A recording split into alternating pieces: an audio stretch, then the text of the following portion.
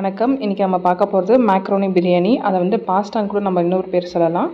வாங்க வீடியோக்குள்ளே போகலாம் அதுக்கு தேவையான பொருள் ரெண்டு மீடியம் சைஸ் வெங்காயம் ரெண்டு மீடியம் சைஸ் தக்காளி. நம்ம மூணு முட்டை வச்சு தான் இன்றைக்கி மேக்ரோன் பிரியாணி செய்ய போகிறோம் அதாவது பாஸ்தா பிரியாணி செய்ய போகிறோம் வாங்க எப்படி செய்வோன்னு பார்க்கலாம். குக்கர் காஞ்சதுக்கப்புறம் நாலு டேபிள் ஸ்பூன் எண்ணெய் ஊற்றுங்க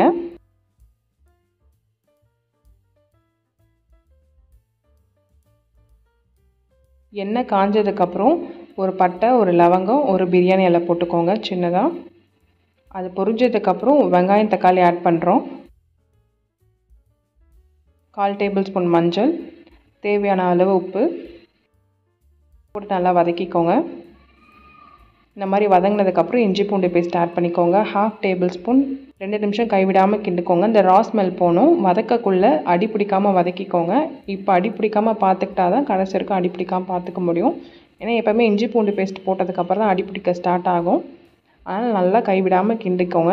வீட்டில் அரைச்சி வச்சுருக்க மிளகாத்தூள் தான் நான் ஆட் பண்ண போகிறேன் ஒரு டேபிள் ஸ்பூன்லேருந்து முக்கால் டேபிள் ஸ்பூன் வரைக்கும் ஆட் பண்ணிக்கோங்க. காரத்துக்கு ஏற்றாப்புல தான். ஏன்னா எண்டு வந்து நல்லா காரமாக இருக்கும். இது வந்து நான்வெஜ் செய்கிறதுக்காக நான் தனியாக அரைச்சி வச்சுருக்கேன். ஸோ அதனால் வந்து நான் முக்கால் டேபிள் ஸ்பூன் ஆட் பண்ணியிருக்கேன் கூட கால் table spoon garam masala add பண்ணியிருக்கேன் நீங்கள் சாம்பார் பொடியெலாம் போடுற மாதிரி இருந்தால் ஒரு டேபிள் ஸ்பூன் போட்டுக்கோங்க. ஒன்றுலேருந்து ஒன்றே கால் டேபிள் ஸ்பூன் போட்டுக்கோங்க. இப்போ நம்ம பாஸ்தா ஆட் பண்ண போகிறோம் இது வந்து கால் கிலோ பாஸ்தா நம்ம செய்கிறது இது வந்து ரெண்டு பேர் சாப்பிட்லாம் தாராளமாக போட்டதுக்கப்புறம் நல்லா மசாலாவோட மிக்ஸ் பண்ணிக்கோங்க. நல்லா மிக்ஸ் ஆனதுக்கப்புறம் தண்ணி ஊற்றுங்க இதுதான் இம்பார்ட்டன்ட் ஸ்டேஜ் இந்த தண்ணி வந்துட்டு பாஸ்தா முழுகிற அளவுக்கு ஊற்றினதுக்கப்புறம் அதுலேருந்து ஒரு இன்ச் தண்ணி நீங்கள் ஊற்றிக்கோங்க அதாவது பாஸ்தா முழுகிற அளவுக்கு தண்ணி ஊற்றிட்டு அதுக்கப்புறம் ஒரு இன்ச் தண்ணி தெரியல அளவுக்கு நீங்கள் ஊற்றிக்கோங்க இன்கேஸ் தண்ணி அதிகமானாலும் பாஸ்தா வந்து உடையாது குழையாது ஸோ நீங்கள் அதை பற்றி பயப்பட வேணாம். கரெக்டாக வந்து பாஸ்தா முழுகி அதுலேருந்து ஒரு இன்ச் அளவுக்கு தண்ணி ஊற்றினாலே கரெக்டாக இருக்கும்.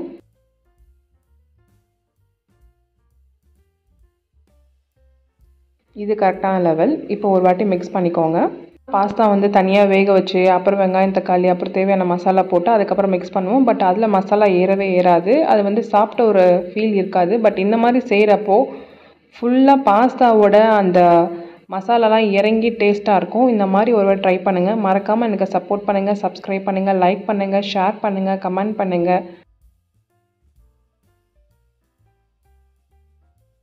இந்த மாதிரி கொதி வந்தோடனே முட்டையை உடச்சி ஊற்றுங்க முட்டையை உடச்சி ஊற்றி இது ரொம்ப ஈஸியான ரெசிபி இந்த மாதிரி ரெசிபி நீங்கள் ஒரு வாட்டி ட்ரை பண்ணி பாருங்கள் டின்னருக்கு இல்லை பிரேக்ஃபாஸ்ட்டுக்கு அந்த மாதிரி ட்ரை பண்ணி பாருங்கள் எக்குக்கு பதிலாக நம்ம சிக்கன் மட்டன் எது வேணாலும் நம்ம செஞ்சுக்கலாம். அது நம்மளோட இன்ட்ரெஸ்ட் தான்.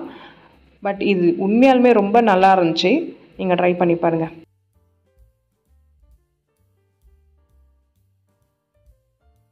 லைட்டாக ஸ்பூனால் மிக்ஸ் பண்ணி விடுங்க. மிக்ஸ் பண்ணிவிட்டு குக்கரை க்ளோஸ் பண்ணிவிடுங்க குக்கரை க்ளோஸ் பண்ணிவிட்டு ஹை ஃப்ளேமில் மூணு விசிலையும் லோ ஃப்ளேமில் ரெண்டு விசில் விட்டு இறக்கிடுங்க. ஃபுல் ப்ரெஷர் இறங்கினதுக்கப்புறம் தான் ஓப்பன் பண்ணணும். அவசரப்பட்டு விசில் தூக்கி விட்டு இறக்கி விடாதீங்க. ப்ரெஷர் இறங்கி குக்கர் ஓப்பன் பண்ணியாச்சு. அதுக்கப்புறம் இப்படி தான் இருக்கும். நீங்கள் மிக்ஸ் பண்ணி விட்டிங்கன்னா லெவல் வந்து சரியாயிடும். தண்ணி மேலே இருக்காது. கரெக்டாக லெவல் இருக்கும். வாங்க சாப்பிட்லாம். நீங்களும் ட்ரை பண்ணி பார்த்துட்டு மறக்காமல் கமெண்ட் பண்ணுங்கள் நன்றி.